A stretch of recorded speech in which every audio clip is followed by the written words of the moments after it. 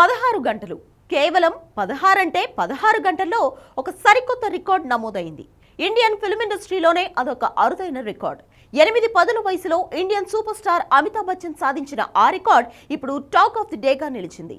ప్రభాస్ హీరోగా తెరకెక్కుతున్న most prestigious movie కల్కి two eight nine eight AD. Prabhas ఫ్యాన్స్తో పాటు పాన్ ఇండియా మొత్తం ఈ మూవీ కోసం ఎదురు చూస్తుంది మే తొమ్మిదిన వరల్డ్ వైడ్గా రిలీజ్ కాబోతుంది. ఇక ఈ మూవీలో అమితాబ్ ఒక కీలక పాత్రని పోషిస్తున్నాడు. కొన్ని రోజుల క్రితం ఆయన గెటప్ని రిలీజ్ చేస్తే అది సోషల్ మీడియాలో రికార్డ్ వ్యూయర్స్ని సాధించింది. తాజాగా అమితాబ్ పాత్రని ఇంట్రడ్యూస్ చేస్తూ ఒక వీడియో విడుదల చేశారు. నిమిషం నిడివి ఉన్న ఆ వీడియో ఇప్పుడు యూట్యూబ్లో నెంబర్ వన్ ట్రెండింగ్లో ఉంది. కేవలం పదహారు గంటల్లోనే నలభై నాలుగు లక్షల వ్యూయర్స్తో ముందుకు దూసుకుపోతుంది.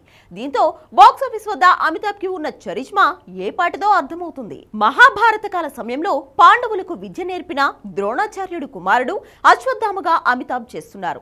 దీన్ని బట్టి మూవీ స్థాయిని ఊహించుకోవచ్చు. మేకర్స్ విడుదల చేసిన వీడియోలో ఒక చిన్న పిల్లవాడు అమితాబ్ని నువ్వు ఎవరు అని అడుగుతుంటాడు. దీంతో కొంతమంది ఆ పిల్లాడు ప్రభాస్ అయ్యుంటాడా అని అనుకుంటున్నారు.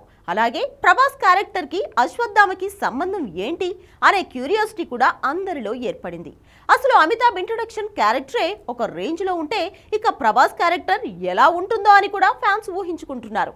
లోకనాయకుడు కమల్ హాసన్ క్యారెక్టర్ మీద కూడా అందరిలో క్యూరియాసిటీ ఉంది. దీపికా పదుకొని హీరోయిన్గా చేస్తుండగా వైజయంతి మూవీస్ పై అశ్విని దత్ అత్యంత భారీ వ్యయంతో నిర్మిస్తున్నాడు.